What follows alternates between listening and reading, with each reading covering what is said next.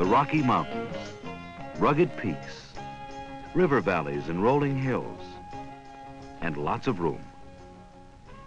Six states make up this region, half a million square miles, with only about six million people. The Rockies form the Continental Divide, separating the rivers that flow east and south into the Gulf of Mexico or the Atlantic Ocean from those that flow westward into the Pacific Ocean.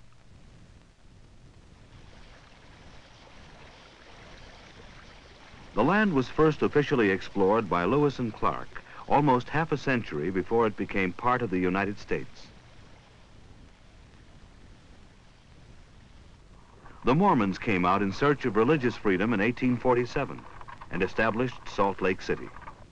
Today it's the capital of Utah and one of the largest of the cities in the Rocky Mountain states.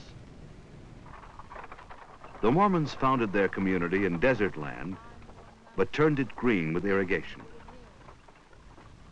The mountain states today couldn't get along without irrigation. Irrigation is necessary if you want to carry on productive agriculture without much rain. The water for irrigation comes from reservoirs, and the reservoirs, they come from dams. This is Hoover Dam in Nevada, with Lake Mead behind it. Lake Mead is one of the largest man-made lakes in the world. Glen Canyon Dam in northern Arizona is on the Colorado River. I've been here at Glen Canyon since 65, about a year after the dam was completed. Haven't had any real problems yet. It's doing its job, irrigation, power, flood control, and recreation too. The dam's one of four in the Colorado Big Thompson project. We produce more electricity from water power in Arizona than any of the other Rocky Mountain states. About half the electricity generated out here is used for industry. And the water from the whole system of dams irrigates three quarters of a million acres of farmland. Irrigation makes sugar beets possible. Sugar beets are one of the most important crops in this region. More than half of the U.S. production of sugar comes from sugar beets grown and processed here. Beans are raised on irrigated lands, too. So is alfalfa. And so are potatoes, Idaho potatoes. About 20% of the nation's potatoes are grown and processed in Idaho.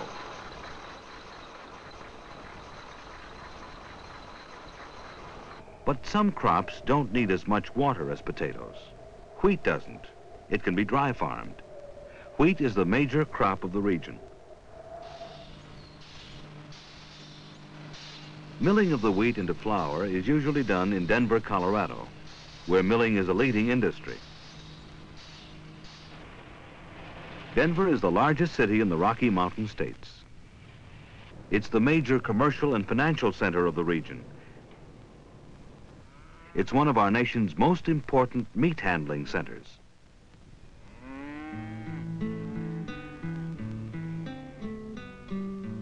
The importance of the Rocky Mountain states in the meat industry began back in the 1800s. Texas cattlemen drove herds of longhorn cattle into the region. The sheepmen came too.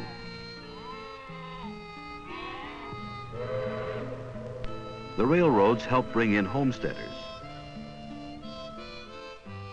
As the cattlemen, sheepmen, and farmers took over the Indians' land, the Indians fought for it. The Indians lost the big battles, although they won some well-known small ones, like the battle near the Little Bighorn River against General Custer. This monument marks Custer's last stand. Today, livestock is a big industry. Most farm income is from livestock.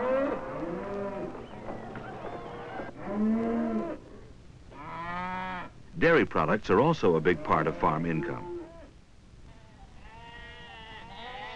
Sheep thrive in drier regions.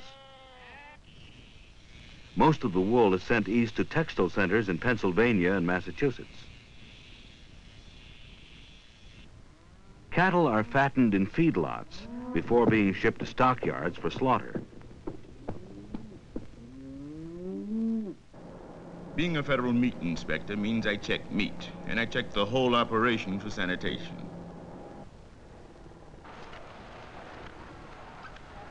I'm sort of carrying on the work of my grandfather. He came out here as a cowboy in the 1890s.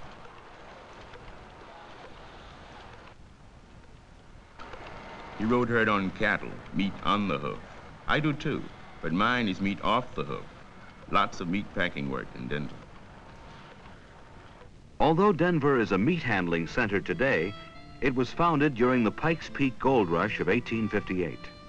The expression Pikes Peak or bust entered our language then. Discoveries of gold and silver attracted many fortune hunters.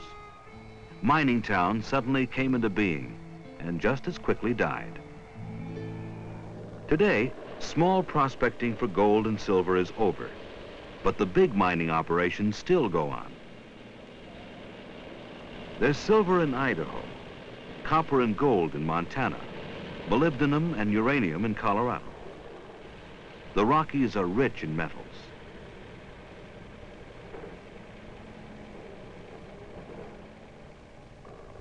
At Bingham Canyon in Utah is North America's largest open pit copper mine. Smelting of the ores into their metals is a big industry in the Rocky Mountain states. By the time the copper ore gets to me, most of the waste rock is gone.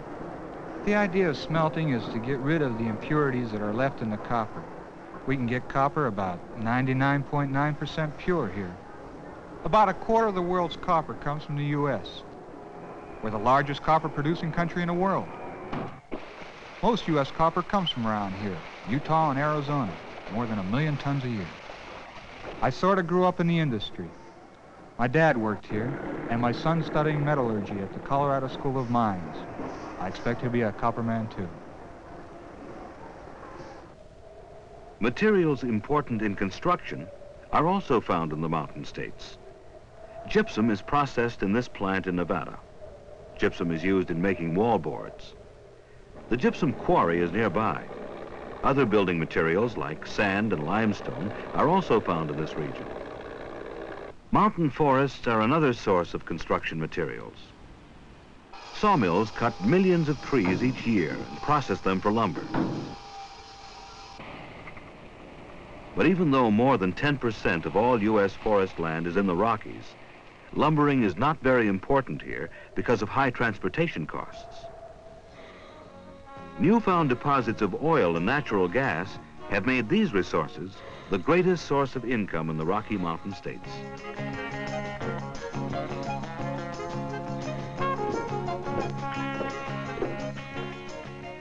This rig is in an oil field in eastern Montana. Nearby are oil tanks and tanks of natural gas. The new discoveries in the Rocky Mountain states have created refining industries. But something that's been known about for a long time will have an even greater impact on the region.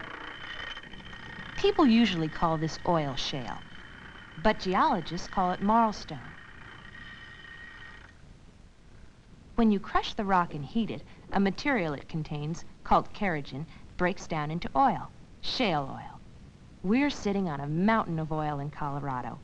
We know where it is. It's all mapped. We just have to reduce the cost of processing it. Environmentalists worry about what a shale oil industry will do to the landscape.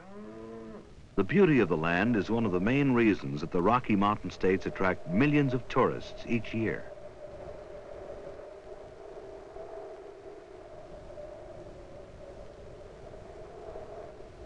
Yellowstone Park is under the supervision of the National Park Service. We may not have many people living out here in the mountain states, but we sure have a lot of things for people to come see. I'll name a few. Shoshone Falls in Idaho.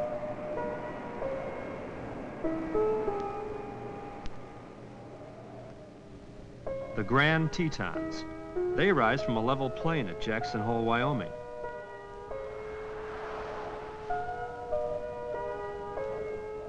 The Garden of the Gods in Colorado.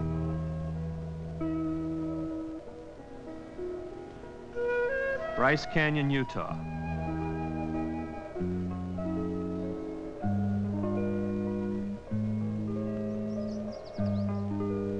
Devil's Tower in Wyoming. There are Indian cliff dwellings at Mesa Verde in Colorado, over a thousand years old. You can watch a glacier creep down a mountainside at Glacier National Park in Montana, or see skiers come down a lot faster at mountain resorts.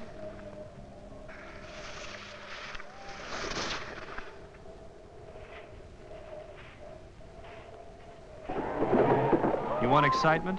There's always the rodeo.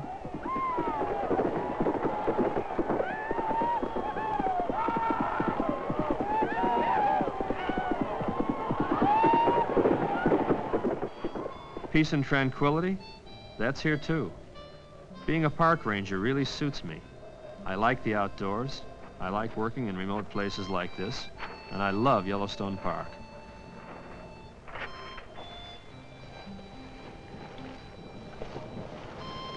Yellowstone is the oldest and the biggest of our national parks, and it's got a lot of things to see, like the geysers and hot springs. Animals just roam around free. They sort of know they're safe here.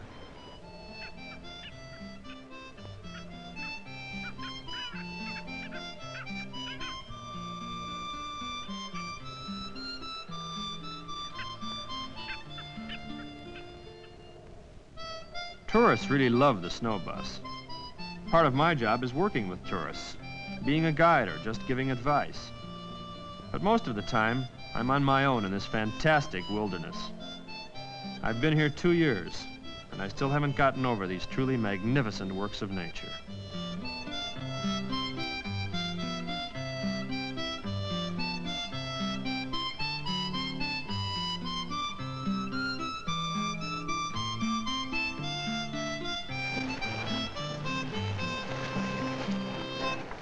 Works of man also attract tourists to the mountain states. Tourism is a big source of income here.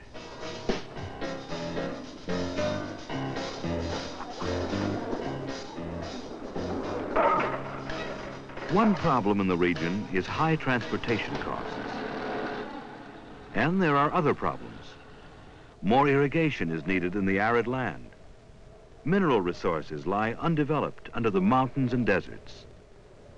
The reason shows up in population signs. Many small towns, and not many big ones, mean there aren't enough people to do the work. But things are changing. New roads like the Lewis and Clark Highway are providing better trade routes. Huge irrigation projects are being built. Industries are diversifying. The lumber industry is beginning to manufacture wooden products. The availability of jobs with the government and government-related activities has brought many people out here.